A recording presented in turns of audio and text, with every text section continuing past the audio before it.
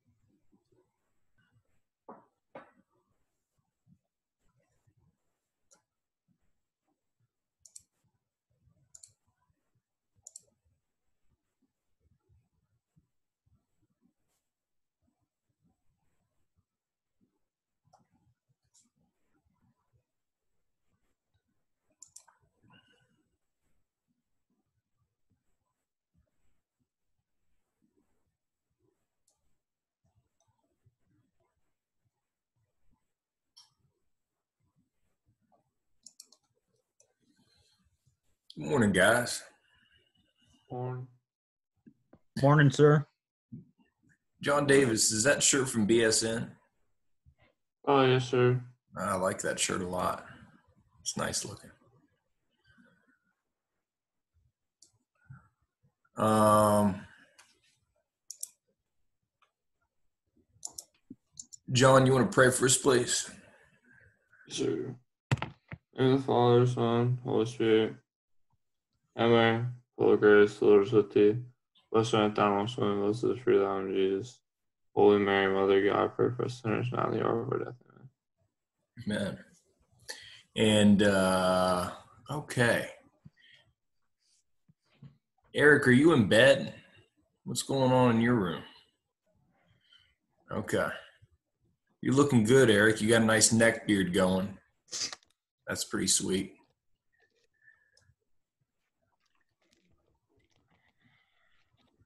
All right. Um, go ahead, take out your homework, guys. Um, actually,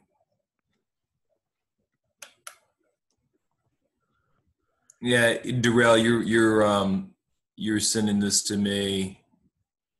You, you just email it to me if if you if you don't think it went through or if, or if it if you had trouble getting it through, just email it to me.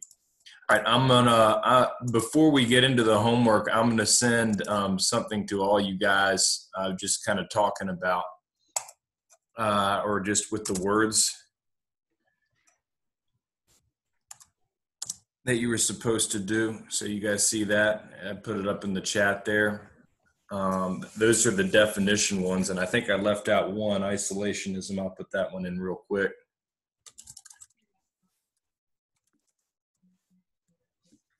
And then we'll talk about the other ones. So I don't care. I don't care whether you guys create a Word document and, and, and add those to a Word document, um, copy and paste it, whatever you need to do, whatever is easiest. I don't expect you to be a little scribe and write those out by hand. If that helps you, you're welcome to do that. But um, um, I'd just copy those for, to a Word document. Um, isolationism is the one I haven't put in yet. The idea that Americans should avoid political ties. Okay.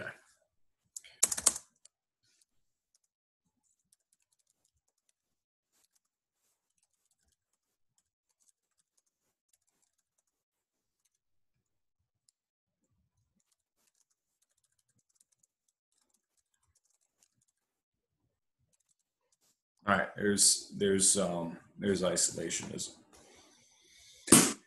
Um, so those that's if if you're keeping track, that's half of them, right? So um, you guys got another half of them to go, and I was hoping what we could do is maybe talk about each one of those. Um, some of them will appear in in in the notes, but I'd like to maybe discuss them before we get to that point. Um, so the first one um, for identifying significance, and just go ahead and write this into wherever you're keeping the other definitions. Um, the first one I see is Dawes plan. Dawes plan. And what Dawes plan was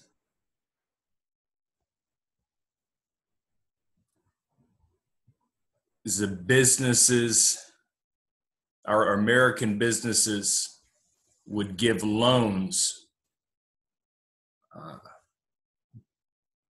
to Germany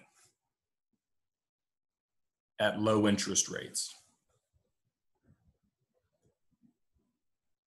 And it was meant, and the significance is it helped the German economy bounce back. Dawes plan. American businesses would give loans to Germany at low interest rates, and it would help the German economy bounce back. Okay. Give you a second to write to type that in or write that down.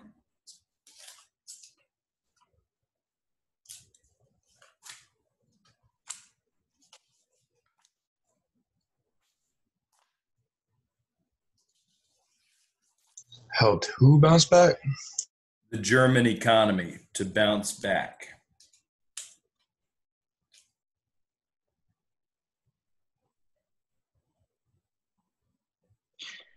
Gun, how do you spell Dodge Dodge plan? D A W E S. These are the same words we wrote down the other day. So uh, it might help you to locate them. You said that one more time, because that's one of the ones I didn't get. So, because you were kind of talking kind of. Yeah. This was a um, American businesses would provide loans to Germany at low interest rates, and it helped their economy bounce back.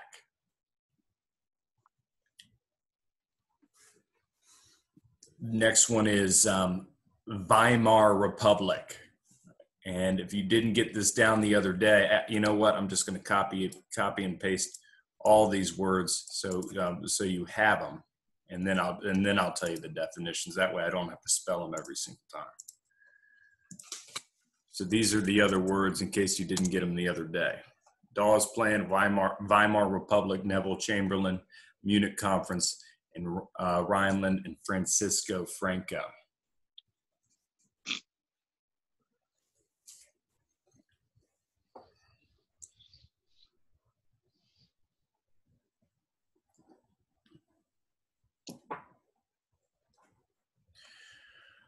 Okay. Um, Weimar Republic is the German democratic government after World War One. German democratic government after World War One. German democratic government after WW1.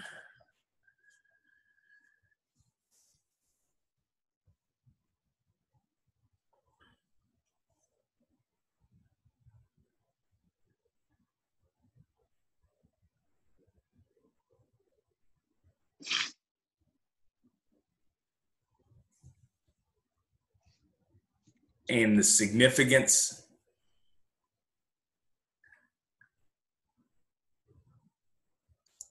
it failed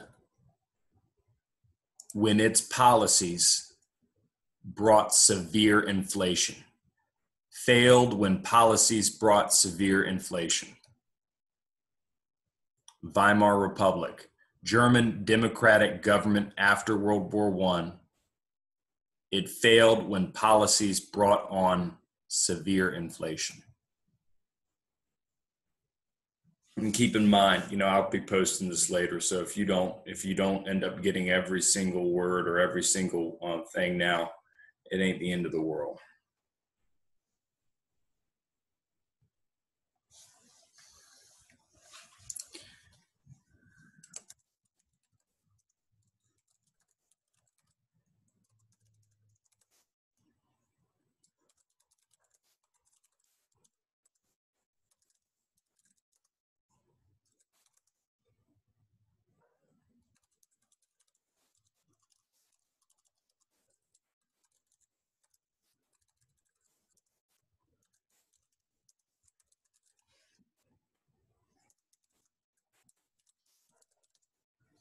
You see that one for Neville Chamberlain there?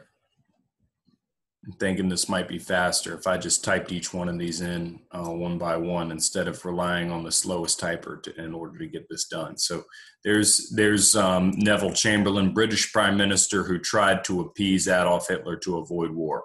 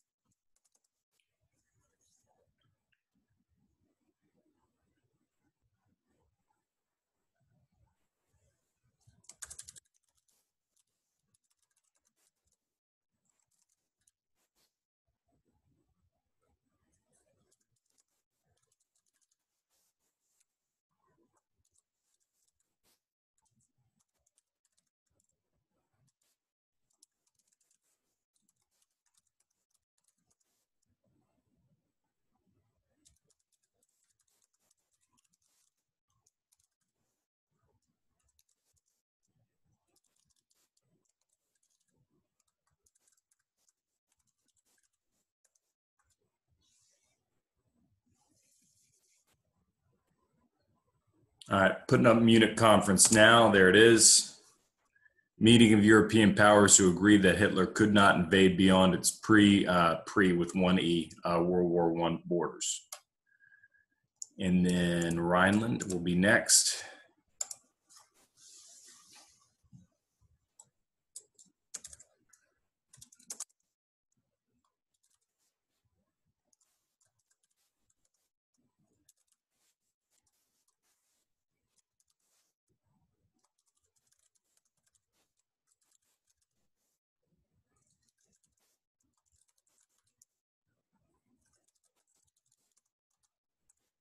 Real simple one here. Area bordering France and Germany that Hitler invaded. And last one's Francisco Franco.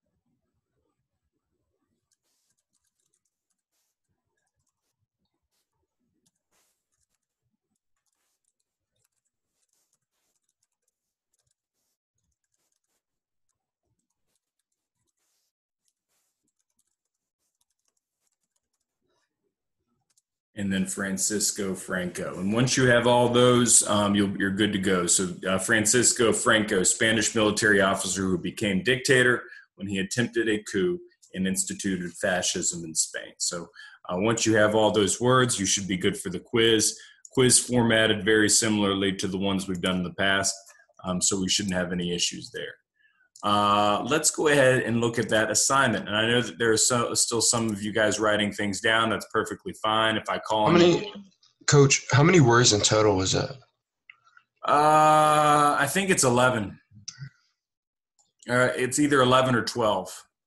I got 10. I'm trying to figure out what I'm missing. 10, let me see. So, Franco, did I miss one? Oh, I gave you guys Dawes plan. Remember, we spoke about Dawes plan. Did you get that? That's the one I'm missing. Okay.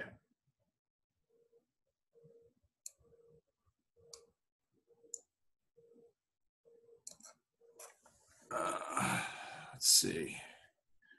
Um, some, can somebody um, put what we said for Dawes plan just so we know we all have the same thing? I remember I told you guys, but I can't, but I don't have that information in front of me right now. So uh, could somebody copy and paste that and put it in here?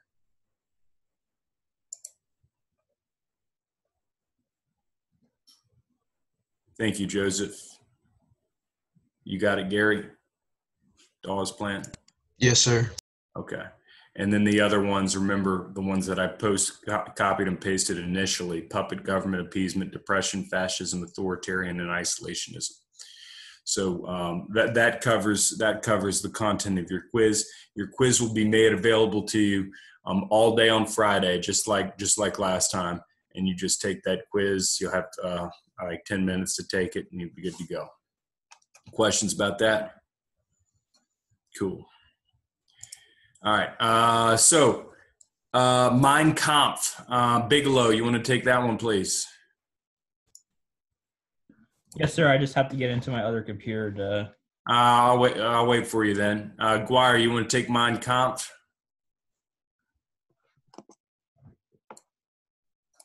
Yeah.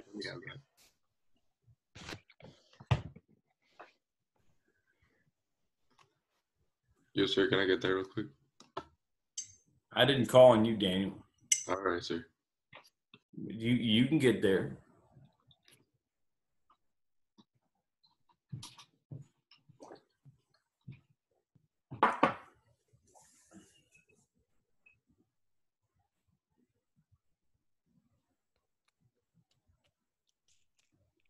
I don't know what Guire's doing. All right, let's see. Darrell, you take Mein Kampf. Okay. Um, it was it was a written book by, by Adolf Hitler for the time of uh, political prisoner in the March Mun, Munich. I don't know how you say it, but M U N I C C. In Munich, yeah. Munich. Munich. Um, Mein Kampf stands for uh, my struggle, and it basically talks about Hitler's thoughts and stuff. Good. Uh, concentration camps. Go ahead, Cole Carmen.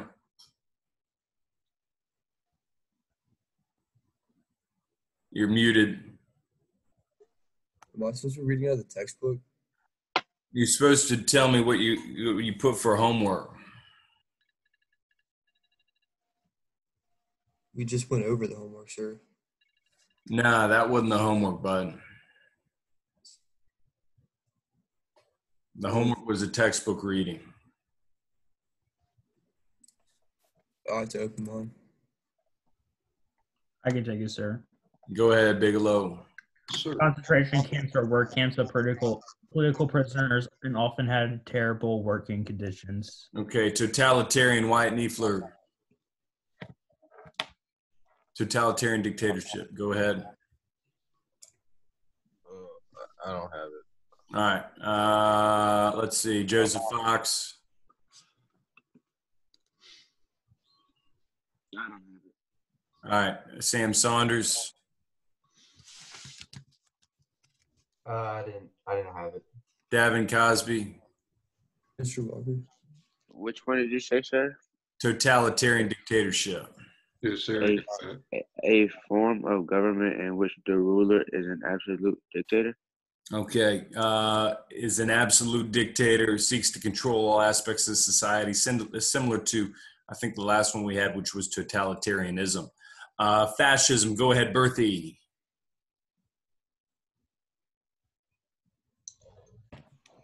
Dude, I I put the definition for fascism for totalitarianism. All right. Well, then just well then well then just tell me what you put for that. Uh, I don't know the definition of fascism. I got it, coach. All right, Gary. A nationalistic right-wing system of government where authority authority of public views with authority of public views. Okay, authority of public views, priority of the state over over the individual. You could have said any of those things. Uh, describe Hitler's youth and his military background. Go ahead, Guire. Take that one, please.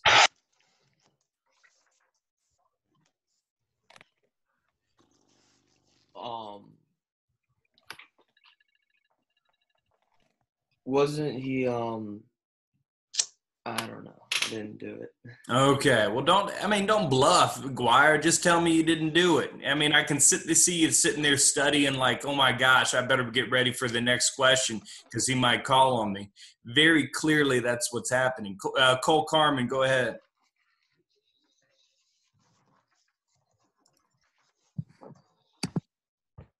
I don't even know what we're looking at.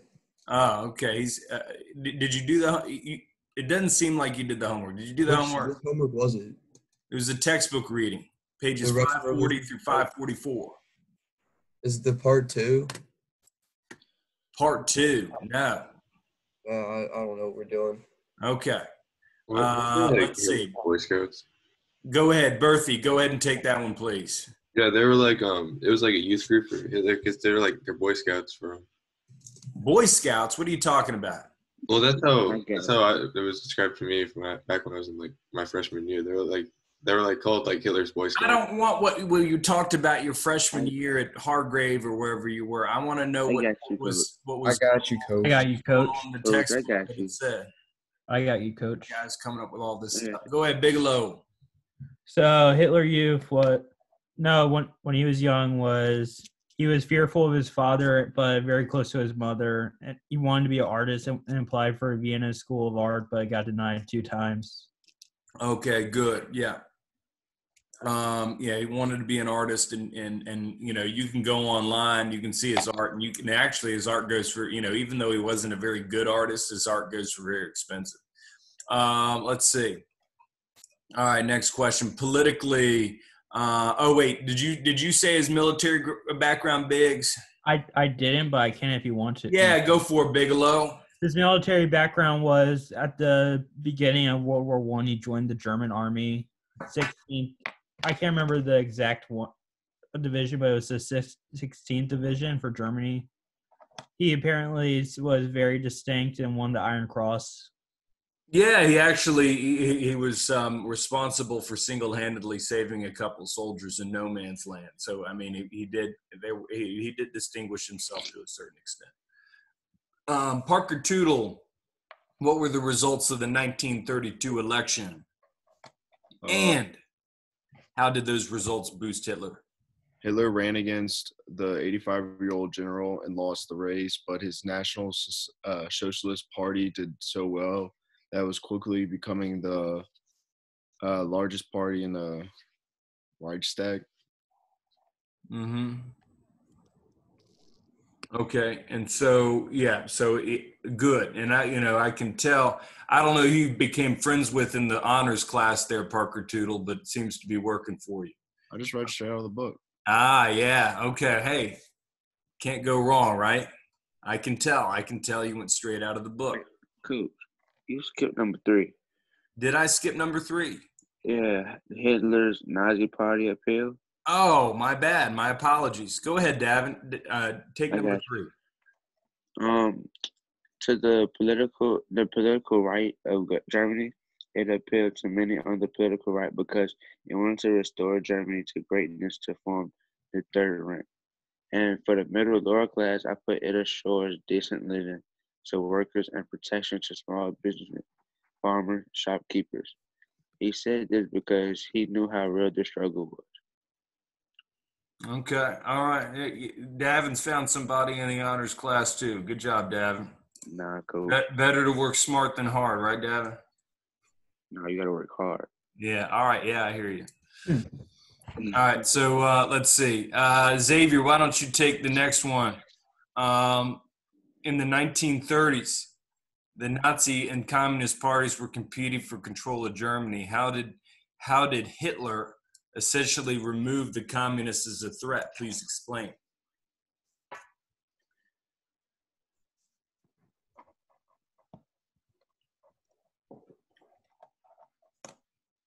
Xavier, you're on mute.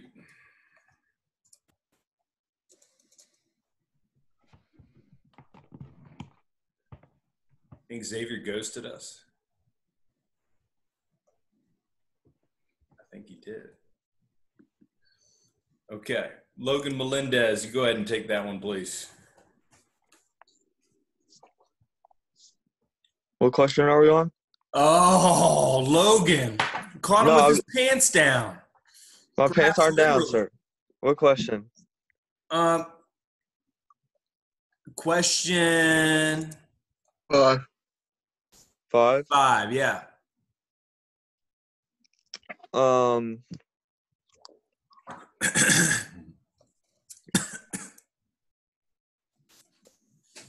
the building in Germany caught on fire. The uh Reich the Reichstag Yeah. building in Berlin. Um, it caught on fire. Okay, and so what about that uh, became? I mean, how did how did Hitler take advantage of that? Is I guess the question I'm asking. Um, a lot of communist leaders were arrested. Yes, and so he yeah he blamed he blamed the communists, and and there was several reader uh, several leaders who ended up being arrested. Good. Uh, let's see. Describe two similarities, uh, Terrence Rhodes, between Hitler's Germany and Mussolini's Italy, described as uh, described in the text, please. Um, Mussolini and Hitler were very similar after reading. Both had totalitarian forms of leadership, so they had all power. Both did not allow the freedom of speech, and they both only broad- broadcasted their representatives.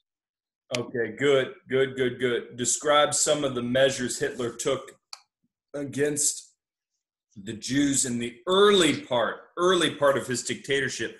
John Davis with the sweet shirt. Go, go for it. Um, he like made sure they couldn't be in office, and uh, the Jewish professors couldn't like be in school. Jews were treated like left less of members of, of the German society. In 1935, they deprived Jews of citizenship. Okay, good, good, good. Thank you, John. All right, guys. Um, so um, we're going to pick up with the between the war period today. I'm going to hope that we cover everything in the before bet- uh, before the war, or excuse me, the between the war period, uh, and w- then we will uh, discuss World War II uh, going into going into next week. Um, so I'm going to go ahead and pull that up. Go ahead and get your notes out. Get ready to go. Uh, let's see here.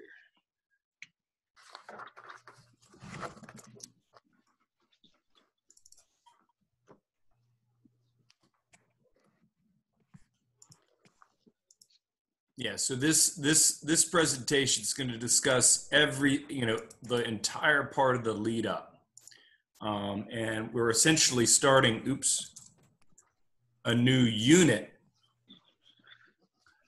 Excuse me. Uh, we'll be starting a new unit uh, since we're done now with the Russian Revolution. Um, this unit is the last unit we will cover as a class, and the test at the end of the year will cut, or excuse me, yeah, the test at the end of the year will cover Unit 11, which was the Russian Revolution. Or maybe that was Unit 10. Uh, I can't quite remember. So um, if, if, if it was Unit 10, then this should be Unit 11. Uh, we call it Unit 12 because typically the between the war period um, is, is a unit in and of itself. But we're trying to fast forward a little bit so we get to World War II. So um, I, I guess I guess the test is on. Just bottom line, test is on World War II and the Russian Russian Revolution. Um, so we have uh, we'll be discussing the origins of Hitler um, and this Aaron Grapes look uh, look-alike kid meeting uh, Adolf Hitler. Interesting. Okay, so uh, let's let's move on. So go ahead and get that. I'll be right back and get myself some more coffee.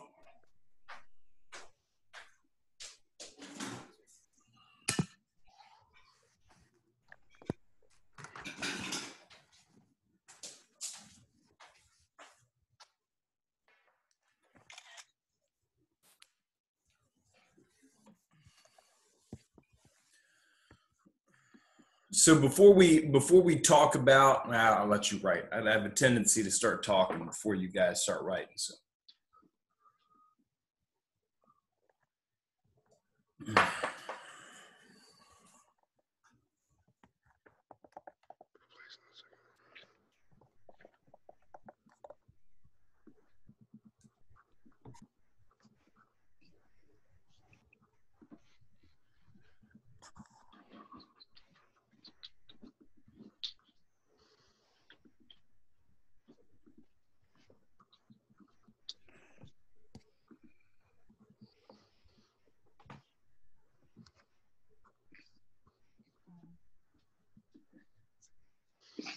Hey, coach, can I go use the restroom real quick? Bigelow, there's not a whole lot I can do to stop you, is there? I mean, I'm in my house, so it's gonna be kind of hard. Yeah.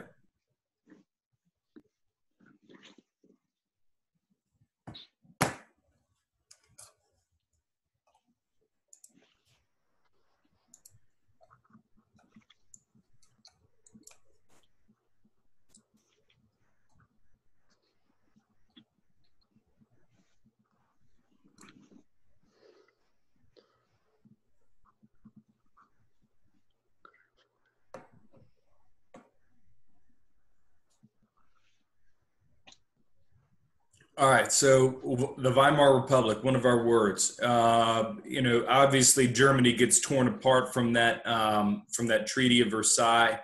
Um, it's in bad, yeah, it's in it's in a bad way. Um, so the Second Reich, remember that Reich that we that we announced right after the uh, right after the war, the Franco-Prussian War, and kind of continued through this time period. Second Reich is done. Um, it's been in Germany's been taken apart. It's been given lands, it taken lands like Alsace and Lorraine, given over to France. It's been taken uh, lands in the east and given back to either to Russia or created uh, new countries entirely. So it is it has been completely completely dismantled. And not only that, but as we mentioned, they had to pay uh, crazy war reparations. You guys remember what the dollar figure was?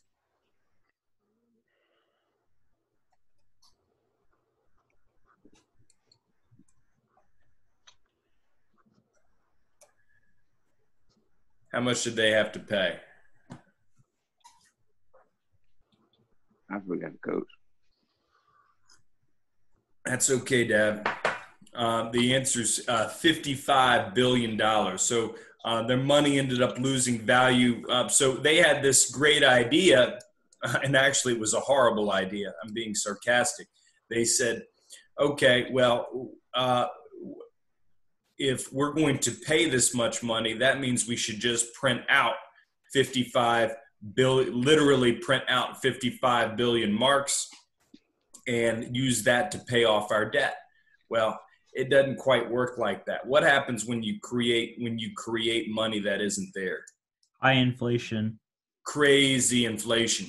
The money the inflation was so bad that the money was not was literally not worth the the um, the paper it was printed on. You had people throwing thousands of dollars into the fire because it was worth more to kindle a fire than it was in actual value.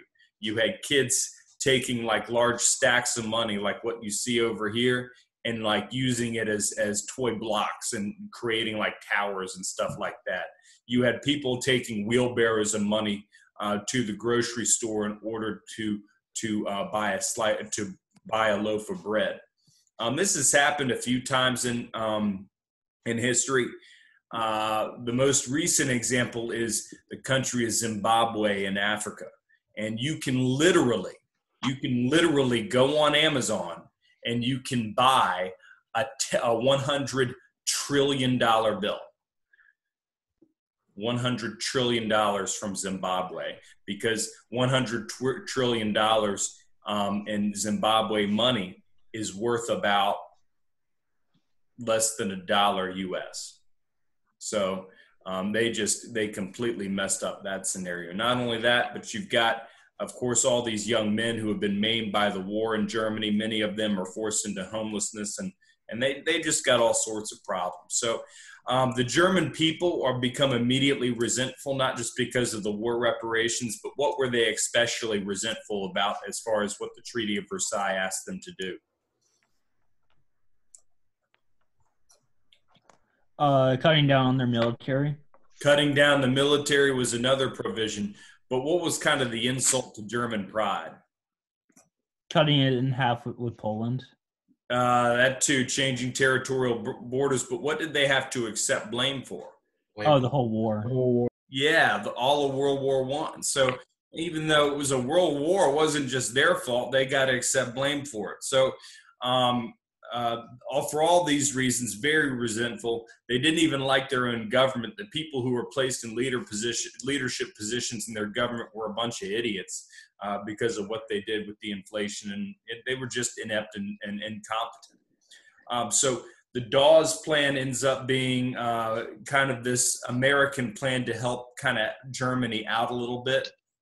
Um, U.S. bank loans being sent, and that would finance German companies, and they would be able to get on their feet to a certain extent. And it was working. Um, but here's what ended up happening. Um, in 1929, you have what's referred to as Black Thursday. Black Thursday. This is when the stock market essentially collapsed in the United States, and not just in the United States, but worldwide. Um, it was it was especially bad in the United States, but it was also especially bad in Germany. Um, hold on a second. I'll let you guys write this down. My wife's giving me a call. I got to pick this up.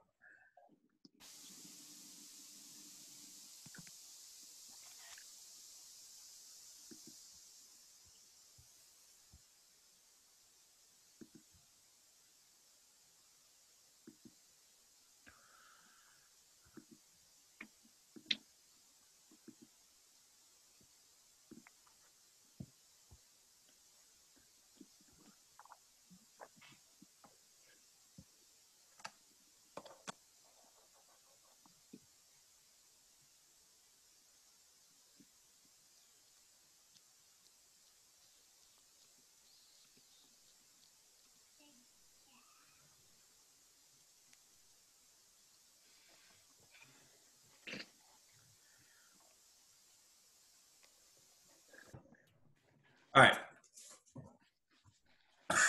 So we end up seeing, um, because of the Great Depression, because it had such a bad impact on the United States, it's going to have a bad impact in um, in uh, on the countries that are reliant on those on the Dawes plan for for loans. Because they're reliant on the Dawes plan for loans, they end up having massive problems uh, because a lot of the American businesses then they stop handing out those loans. And so, you know, what was used as a crutch essentially means that they're going to fall flat on their face. And so things get really bad in Germany. And the fact of the matter was, this Weimar Republic that they had set up, this democratic government, it had just proven that it just was not going to fix anything and it essentially fell, fell apart. And the people are unhappy with it. They're longing for the days when they were kids, when Germany used to be great, and um, you know they're hoping they're hoping essentially that um, that somebody can come along. So what all this does is it paves the way for uh, people like Hitler to come through and um, and and take control of things, especially if Hitler has a good selling point, if he has a good uh, message for these people. Uh, same thing is happening in Italy. In Italy, you got this guy Benito Mussolini who's coming through, and he's and he's going to you know make these or make make claims about a need to uh, return return the greatness of their country. So, you know, for all these reasons, we end up seeing um, um, new extreme powers kind of kind of come into the fold and and attempt to make these changes uh, in Italy and in and in uh, Germany.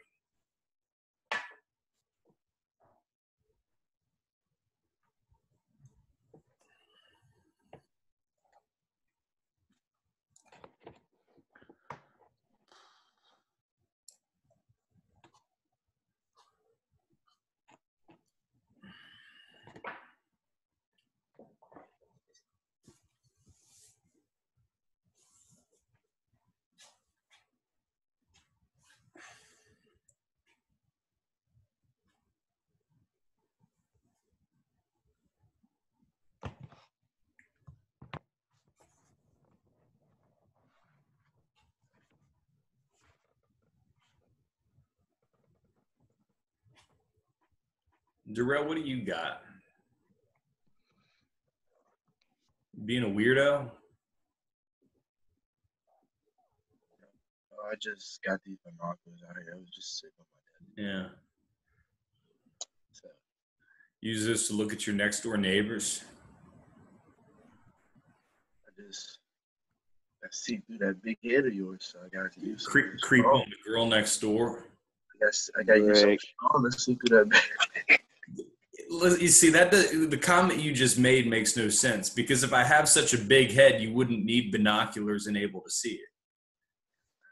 You're actually saying the opposite. You're saying I've got a small head and you need binoculars in order to see it. Thank you, Darrell. Thank you for saying I have a small head. I appreciate it. I said Why would you want a small head, coach? I'm just saying. You know, Darrell's always saying I got a big head. Now he needs binoculars. to he never had it before, so he worth one.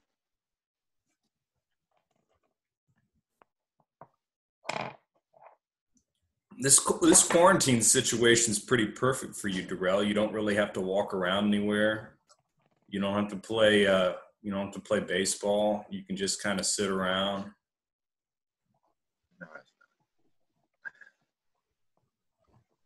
I haven't been getting my cooks in. I, I, I I'm, just, I'm just realizing that.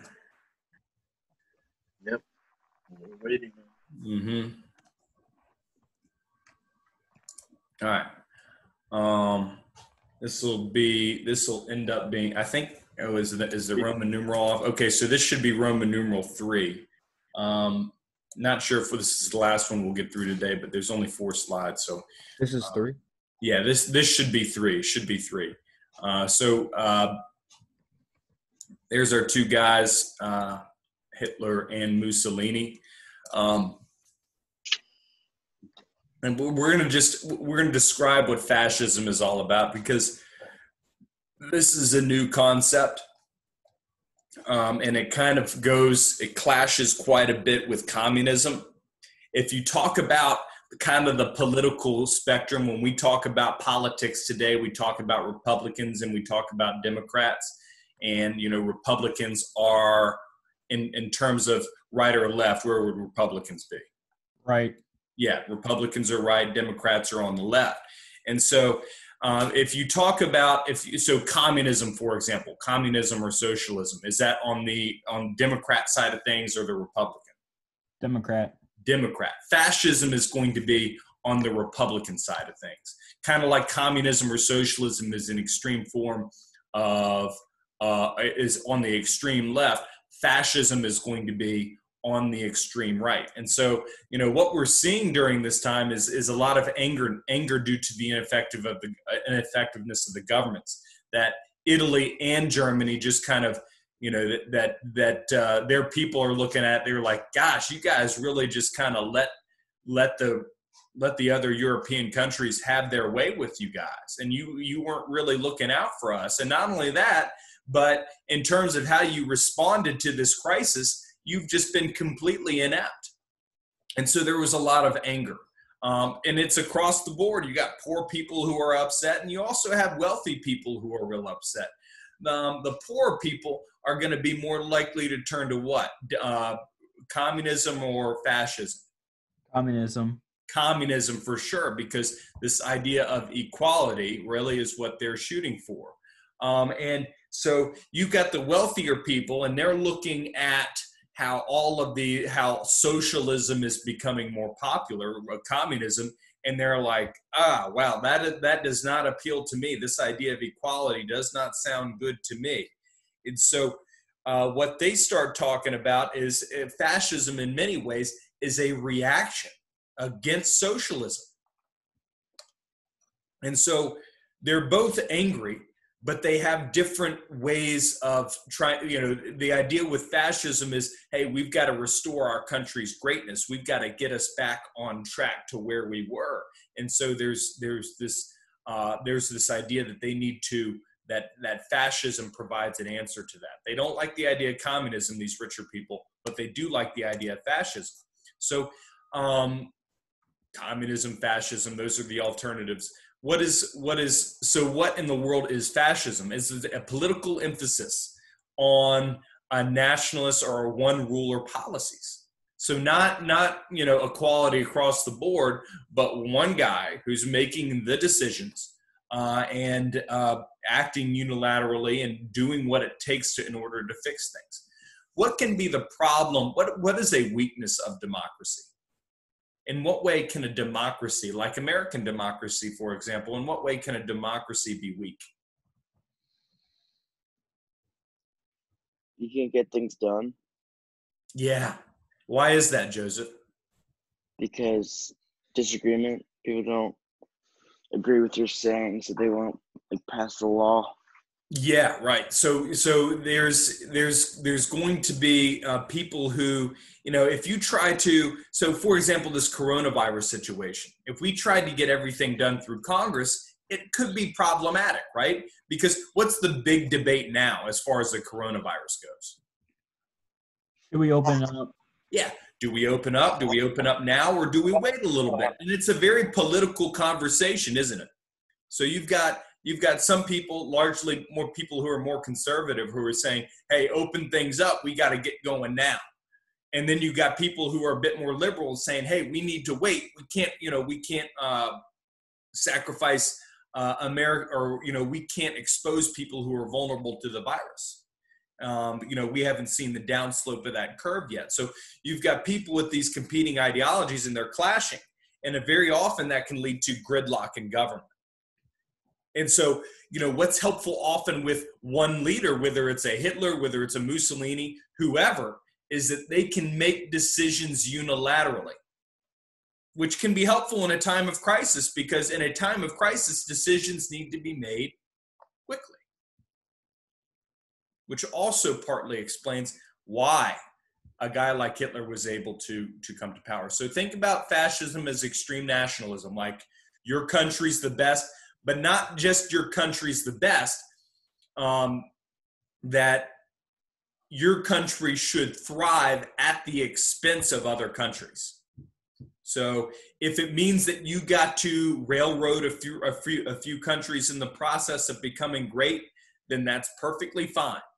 Not only that, but you need to place the uh, place the uh, priority of the country over yourself. So this idea that the individual is not important, right? That it's all about the state, which is kind of interesting because um, communism is essentially saying the same thing. How? How would communism uh, be pl- de-emphasizing the ind- individual? Joseph, what do you think? Um, like, cause you give everything, like everybody has the same, Mm-hmm. and you're sort you're giving a lot of it to the state. Yeah, it's all about the community, isn't it? So it, it becomes interesting when you get far enough left and far enough right. It's almost like you come back together again at certain points. Now, um, that's not to say that fascism is the same thing as communism. It's not. But I think there are elements of both that are very similar. So um, this was especially popular in places like Germany and places like Italy. And what we will do next class is we will talk before we end up getting into the lead up for World War II.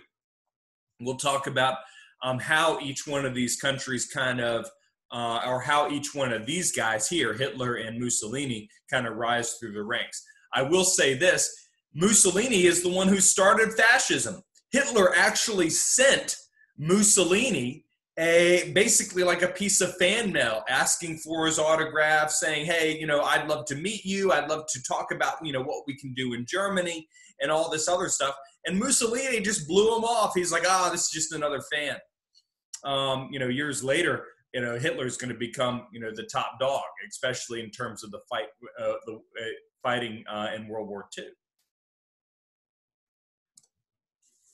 Uh, once you guys get this, you can go ahead and log off. Um, thanks for sticking around today. All right. See you later. See you, coach. Bye. Yeah. Thank you. All right, Uh-huh. coach.